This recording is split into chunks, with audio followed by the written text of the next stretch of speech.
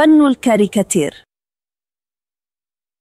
إذا كنت من هواة مطالعة الجرائد والمجلات فلا بد أن تصادفك من حين لآخر تلك الرسوم الساخرة التي تعرض شخصيات بملامح تثير الضحك.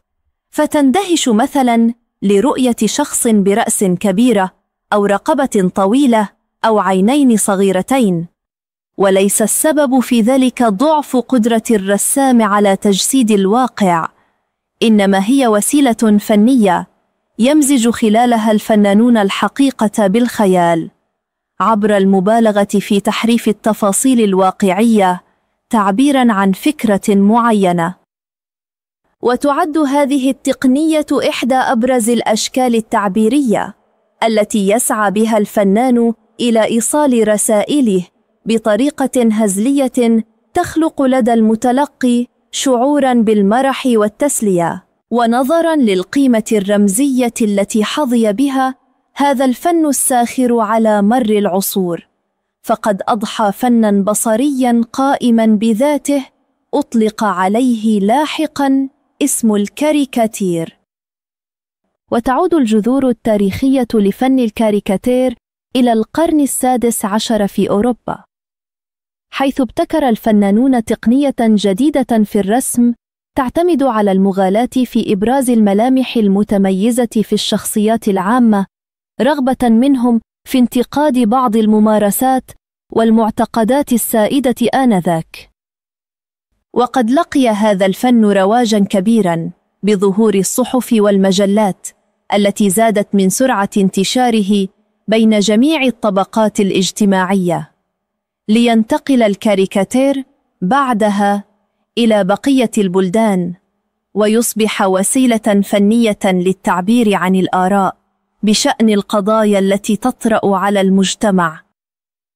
ويعتمد فن الكاريكاتير على تقنيات وأساليب متنوعة كمهارات التكبير والتصغير والتظليل والتنقيط كما يعد اختيار الألوان أحد أهم مقومات فن الكاريكاتير لما يضفيه على الرسم من إثارة وجاذبية. وتختلف أساليب الرسم الكاريكاتيري من فنان إلى آخر كما تتنوع مواضيعه بين السياسية والاجتماعية والثقافية والفنية والرياضية. والجدير بالذكر أن فن الكاريكاتير تأثر بالتطور الرقمي الذي شهده العالم. حيث صار محترف هذا الفن يعتمدون أحدث الأجهزة الإلكترونية لما تتوفر عليه من برامج وتطبيقات متقدمة. زادت من جماليات الرسم ودقته.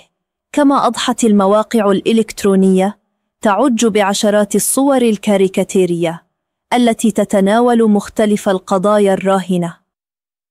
ونظرا للمتعة الكبيرة التي يخلقها فن الكاريكاتير. لدى الرسام والمتلقي معا فقد تزايد الاهتمام بتعلم هذا الفن في المدارس والمعاهد. وإذا أردت أن تخوض هذه التجربة أيضا فما عليك إلا إحضار بعض الأوراق والأقلام. لكن احرص. أثناء مبالغتك في رسم التفاصيل أن لا تؤذي مشاعر الآخرين. والآن نبقى مع أسئلة الفهم. متى ظهر فن الكاريكاتير وبأي قارة تم ذلك؟ بالقرن السادس عشر في أوروبا. ما هي العوامل التي زادت من سرعة انتشار فن الكاريكاتير في العالم؟ ظهور الصحف والمجلات. لماذا يلجأ محترف الكاريكاتير في الرسم الساخر؟ ها؟ ليه؟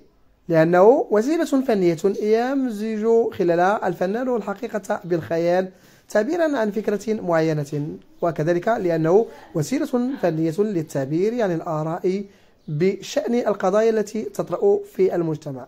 كيف تأثر فن الكاريكاتير بالتطور الرقمي؟ ندعوكم مع هذا المقطع. والجدير بالذكر أن فن الكاريكاتير تأثر بالتطور الرقمي الذي شهده العالم. حيث صار محترف هذا الفن يعتمدون أحدث الأجهزة الإلكترونية لما تتوفر عليه من برامج وتطبيقات متقدمة. زادت من جماليات الرسم ودقته. ما النصيحة المقدمة لك في آخر النص؟ نترككم مع هذا المقطع. لكن احرص. أثناء مبالغتك في رسم التفاصيل أن لا تؤذي مشاعر الآخرين. آه، أملأ الفراغ بما يناسب؟ نابغة الكاريكاتير فنون تشكيلية المتحف اللوحات. إذن في معرض أه للفنون التشكيلية يتمتع الزوار باستكشاف مختلف التحف الفنية. السؤال الثاني املأ الفراغ بما يناسب؟ نابغة الكاريكاتير الفنون التشكيلية المتحف اللوحات. في معرض الفنون التشكيلية يتمتع الزوار باستكشاف مختلف التحف الفنية بدءا من الكاريكاتير الساخر إلى اللوحات الجميلة التي تحكي قصصا تعبر عن مواضيع مختلفة.